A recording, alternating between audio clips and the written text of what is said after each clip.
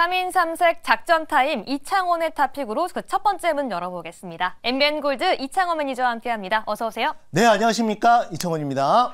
네, 오늘 시장 이 하락 출발 후에 계속해서 낙폭 확대하고 있습니다. 계속해서 좀 지지부진한 모습 보여주고 있는데요. 도대체 이 시장의 돈 수급은 다 어디로 몰리고 있는 걸까요? 음, 네. 어, 여러분들 지금 HTS 상에서 거래대금 순위를 보면은 현재 블루엠텍이 1위 그리고 상한가에 지금 도달한 LS 머트리얼즈가 2위를 기록을 하고 있습니다. 두 회사의 공통점이 뭐죠? 신규 상장? 네, 맞습니다. 바로 신규 상장주가 지금 특히 블루엠텍 같은 경우에는 제가 방송 들어오기 전에 어, 현재 거래 대금이 1조 원을 넘게 어, 지금 터지고 있는데요. 네. 어, 이 종목이 지금 대형주가 아니에요. 지금 이제 그 상장 기준으로 시가총액이 2천억밖에 안 되는 종목인데 네. 지금 거래 대금이 1조가 터졌다라는 거는 전체 시가총액 그러니까 회사가 지금 다섯 번이 바뀌었다라고 해도 아, 가언이 아닐 정도로 어, 최근에 이제 신규 상장주들이 너무 과도한 그런 흐름을 보여주고 있습니다. 이게 이제 사실 저는 조금 문제라고 생각을 해요. 솔직히 왜냐하면 우리가 이제 신규 상장주 같은 경우에는 공모가 대비해서 어, 지금 이제 위로는 400%까지 상승을 할 수 있고요. 그 다음에 아래로는 60%, 공모가 대비 60%까지 하락할 수 있습니다. 과거에는 어, 이게 이제 막혀 있다 보니까 그냥 따상 간 다음에 그 다음에 어, 상, 뭐 따상상 뭐 이런 식으로 갔는데 워낙 이제 변동성이 강하고 상한가를 여러 번 치다 보니까 이거를 이제 VI와 그 다음에 당일 상한가를 400%로 풀어놓은 거예요.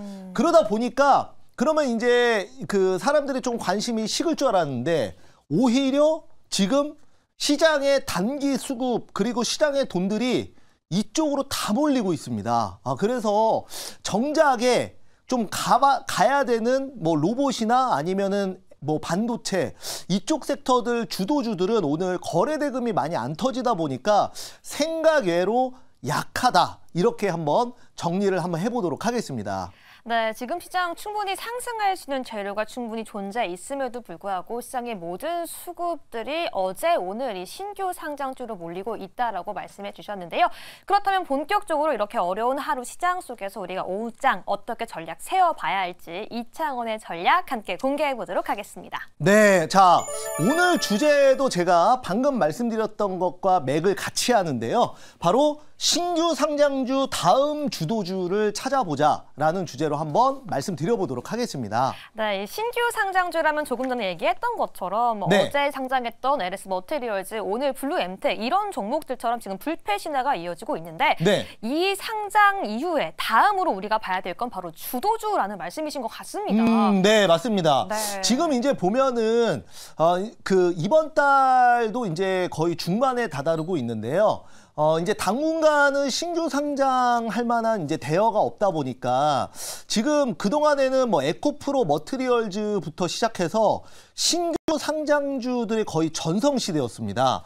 아, 그런데 신규 상장주가 이제 당분간 눈에 띄는 게 없다 보니까 어, 이제는 시장의 수급이 좀 주도주 쪽으로 몰려갈 수 있다라고 저는 생각을 하고 있거든요. 어, 그래서 결국은 이제 한정된 그 주식 시장의 돈의 그 재화의 한정 한정된 그 재화 속에 어 이제 1등주 쪽으로 돈이 다 빨려 들어가면 다른 종목들은 그 말 그대로 손가락만 빨고 빨 수밖에 없는 상황이에요. 그렇죠. 아, 그런데 이제 신규 상장주가 당분간 이제 없다 보니까 어떻게 보면 신규 상장주도 하나의 테마가 형성이 된 거거든요. 그런데 이 테마가 당분간은 없다 보니까 그동안 좀 가려고 준비했던 종목들이 어, 슈팅이 나올 가능성이 높다. 저는 이렇게 말씀을 좀 드려볼 수가 있겠고 그래서 어, 지금 이제 블루엠텍을 제가 이제 잠깐 보고 왔는데 상한가를 가려고 하다가 지금은 이제 좀 고점 대비해서 좀 빠져 있는 상황이에요. 그래서 어, 이쪽은 말 그대로 거의 뭐 도박과 다름없는 그런 지금 이제 trading으로 저는 보고 있습니다. 그래서 정말 그 초보분들은 조심하시길 바라겠고요. 어, 정상적인 조금 그래도 어, 볼 수 있는 종목 재료와 모멘텀이 주- 있는 종목 쪽으로 한번 오늘 같이 보도록 하겠습니다. 네, 앞으로의 시장 속에서는 우리가 더 주목해볼 만한 대어들은 이제 없다라고 말씀해 주셨고요. 오히려 이 신규 상장의 수급 쏠림 현상으로 인해서 충분히 상승할 수 있는 재료와 모멘텀이 지금은 조금 외면받았었던 그런 종목들 시장의 주도주를 함께 파악해 보자라고 오늘 장 조언해 주셨습니다. 네, 그럼 이제 본격적으로 종목 이야기를 하나씩 해보고 싶은데요. 지금 시장 속에서 방송 언급 종목 중에서 얼마만큼의 상승 이어지고 있는지 그 종목 함께 먼저 리뷰 도와드리도록 하겠습니다. 네, 오늘의 리뷰 종목 종목은요, 바로 이 서울 옥션입니다. 네. 이 종목이요, 많은 분들 기억하고 계실 테지만 바로 어제 이 시간에 언급을 했는데 오늘 이 10%까지도 상승을 해줬습니다. 이 하루 만에 급등이 나왔는데요. 계속해서 좀 어떤 전략 세워봐야 될까요? 음, 네. 지금 이제 서울 옥션 같은 경우에는 STO 관련주로 어, K 옥션, 서울 옥션, 어, 그리고 뭐 갤럭시와 머니트리는 어, 당분간은 계속 봐야 될 것 같고 우리가 이제 증권 시장이 이렇게 형성되는 만큼 STO 시장도 앞으로 그 크게 형성될 수밖에 없기 때문에 관련주들을 우리가 반드시 봐야 된다 이런 관점에서 어, 서울옥션 말씀드렸는데요. 오늘 이제 급등하다가 거래량이 이제 좀 같이 붙어주면 추가 상승이 더 나올 수 있었을 뻔 했는데 어, 이제 아무래도 이제 시장의 돈들이 좀 신규 상장주로 빨려 들어가다 보니까. 네. 오늘 상승하다가 윗꼬리가 달렸습니다. 아 그래서 어, 이 종목은 뭐 시장 분위기만 조금 형성되면 추가 상승 충분히 가능하다 이렇게 말씀드려 보도록 하겠습니다. 네, 어제 언급하고 10%까지 오늘 급등했었던 서울 옥션까지는 시장 수급과 함께 더욱더 상승 가능하다라고 리뷰해 주셨고요.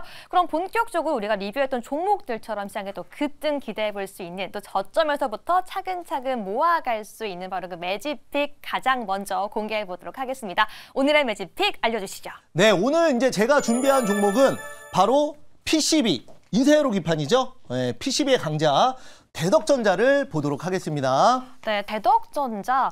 하지만 또 아, 걱정되는 것도 있는 게 네. 11월 초 리포트를 보게 된다면 네. 매출액 대비 영업이익이 조금 아쉽다라고 하면서 음, 이 아쉬운 엇박자라는 말도 있긴 했었거든요. 음, 네, 맞습니다. 지금은 좀 모아가기 괜찮은 타이밍이라고 어, 보시는 네, 네, 그렇게 보고 있습니다. 왜냐하면 지금 이제 반도체 섹터는 3분기 실적은 사실 좋은 회사들이 거의 없습니다. 삼성전자를 위시해서 어, 지금 이제 메모리 업황이 좋지 않았기 때문에 네. 어, 지금 그 3분기 실적은 사실 우리가 뭐 지난 분기지만 어, 크게 신경을 쓰지 않아도 된다라고 저는 생각을 하고 있고요. 네. 지금 이제 대덕전자 같은 경우에도 마찬가지입니다. 동사 같은 경우에는 주로 이제 삼성전자와 거래 거의 뭐 거래를 40년 동안 한 삼성전자와 손을 같이 잡고 가는 대표적인 기업인데요.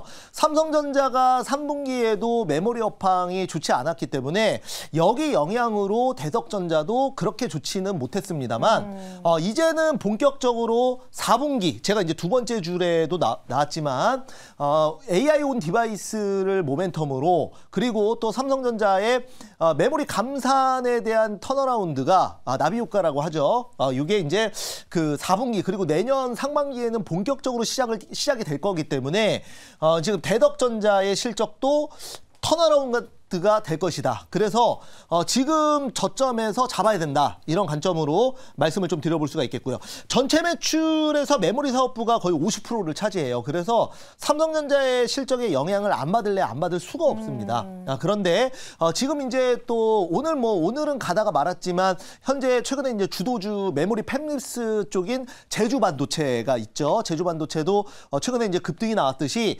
대덕전자도 뭐 조금 잠잠하다가 최근 최근에 이제 수급이 강하게 붙는 것이 어, 시장에서 이제 본격적으로 좀 주목을 하고 있다라고 봤기 때문에 어, 제가 오늘 가지고 나왔습니다. 네, 삼성전자의 4분기 실적 turnaround 이 환경 속에서 가장 큰 수혜까지 받아볼 수 있다, 기대해 볼 수 있다라고 말해 주셨는데요.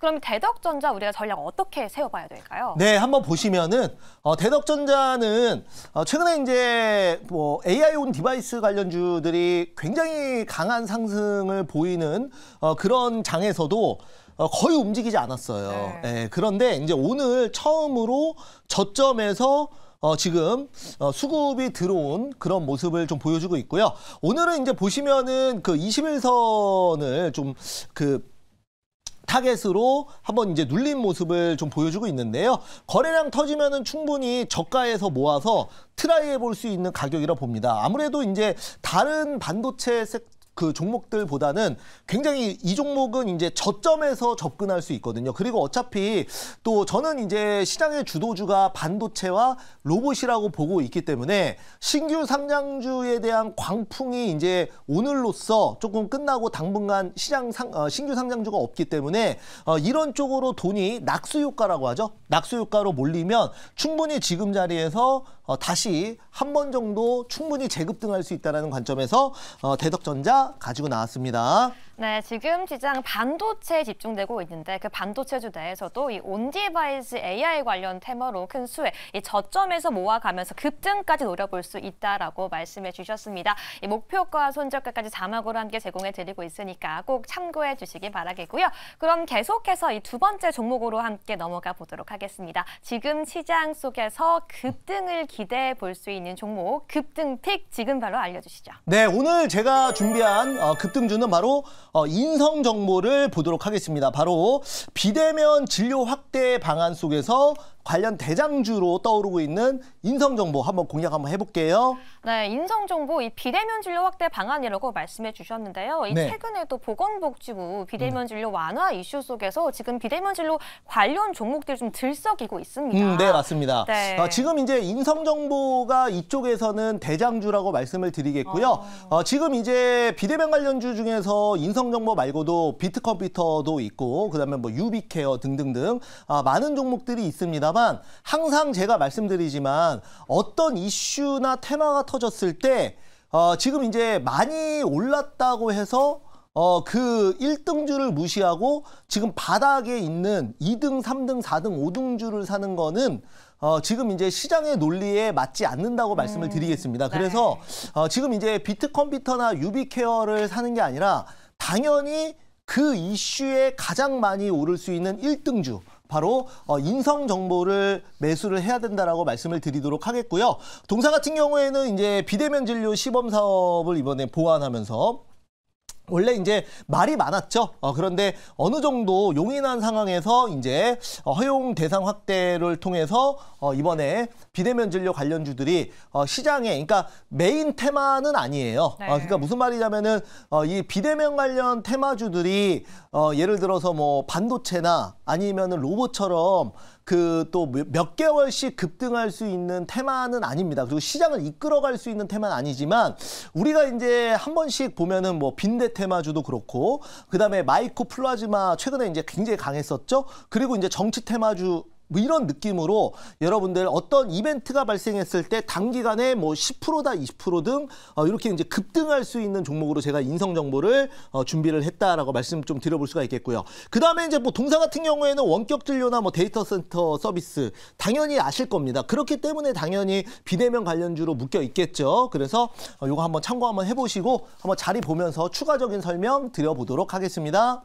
네, 인성 정보 같은 경우는 이미 충분히 상승이 나오고 있지만 그럼에도 불구하고 이 비대면 테마 내에서도 1등주를 이끌고 있는 대장주라고 말씀해 주셨는데요. 지금 시장의 분위기 속에서 우리는 시장을 공략할 때 1등주, 대장주를 공략하자라고 말씀해 주셨습니다. 그럼 공략은 또 어떻게 봐야 될까요? 아, 네, 보시면은 지금 이제 인성정보가 그 한 번 급등한 이후에 눌림목을 주고 있거든요. 그러니까 지금 자리에서는 거래량만 터지면은 어 지금 이제 4일 전에 형성됐었던 전고점을 한 번 정도는 충분히 급등하면서 넘어갈 수 있다라고 봐요. 네, 그래서 어 지금 자리에서 가지고 나온 거고요. 오늘도 보면은 어 거래량이 좀 붙었습니다. 그리고 이제 수급이 아직 빠지지를 않았죠. 그래서 이런 자리에서는 뭐 시간외에서 상한가를 가서 내일 뭐 갭을 띄우거나 이런 식으로도 충분히 try를 해볼 수가 있을 것 같아요. 그래서 메이저 수급이 그래서 지금 자리에서 한번 보도록 하겠고요.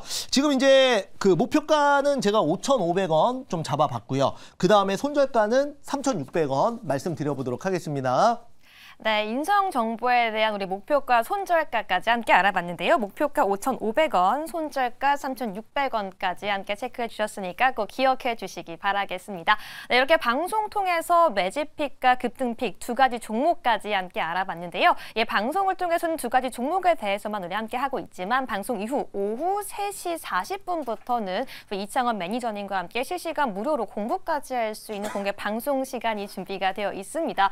네, 지금 시장 오늘 장 초반부터 좀 지지부진하고 어려운 시장이기 때문에 함께 하게 된다라면 좀 어떤 내용 공부할 수 있을지 궁금한데 좀 위로까지 받아갈 수 있을까요? 네. 자, 일단은 지금 시장 우리가 다음 주도주를 준비해야 된다라는 관점에서 어, 여러분들 주제를 정했고요. 어, 최근에 이제 제가 좀 많이 밀고 있는 종목도 있죠. 그리고 그 후속주도 준비하고 있습니다. 어, 시장이 이렇게 조금 흔들릴 때는 충분히 저가 매수를 할 수 있다라고 말씀을 좀 드려볼 수가 있겠고요. 어차피 시장의 그 테마주와 그 다음에 주도주는 계속 순환합니다. 오늘은 비록 신규 상장주가 두 개가 있다 보니까 이쪽으로 시장에 모든 돈들이 많이 몰렸지만 어, 지금 이제 원래 또 굉장히 좀 강했었던 주도주는 그 다음을 준비하고 있습니다. 아, 그렇기 때문에 여러분들 오늘 또 공개 방송 절대 놓치지 마시고 3시 40분 많이 오셔서 어, 그 주도주 그리고 다음을 준비하자 같이 한번 만들어 가보도록 하겠습니다.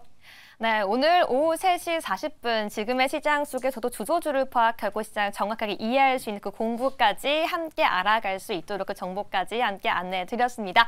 오늘 3인 산색 작전 타임 이창원 코치 시간은 여기서 마무리해 보도록 하겠습니다. 감사합니다. 네, 감사합니다.